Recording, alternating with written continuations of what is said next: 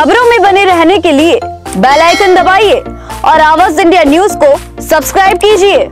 यूँ तो राज्य सरकार व केंद्र सरकार गाँव ढानी व शहरों सहित महानगरों को साफ़ व स्वच्छ रखने के लिए कई तरह के ठोस कदम उठाकर बहुत प्रयास कर रही है और गाँव ढानी व शहरों सहित महानगरों के समस्त अधिकारियों को इस बार कड़े निर्देश दे रखे हैं। वे अपने क्षेत्रों में कहीं पर भी गंदगी नहीं होने दें, जिसका असर शहरों सहित महानगरों में तो देखने को मिला।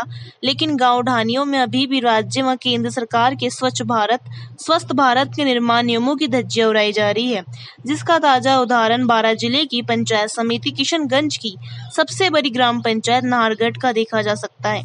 यहाँ पंचायत प्रशासन की मनमर्जी के चलते कस्बे की साफ़ सफ़ाई व्यवस्था चरमरा गई। एक माह से कस्बे की सफ़ाई नहीं होने के कारण पूरे कस्बे में गंदगी के ढेर लगे हैं तो वहीं नालियाँ साफ़ नहीं होने के कारण नालियों का गंदा पानी भी रोडों व आम रास्तों में जमा हो गया, जिससे पूरे कस्बे वासी परेशान है।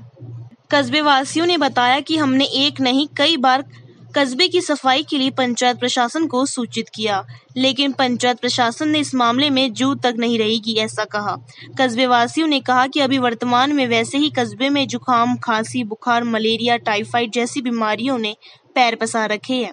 ऐसे में कस्बे में लगे चारों और गंदगी के ढेरों से जानलेवा बीमारियाँ फैलने का डर सताता रहता है।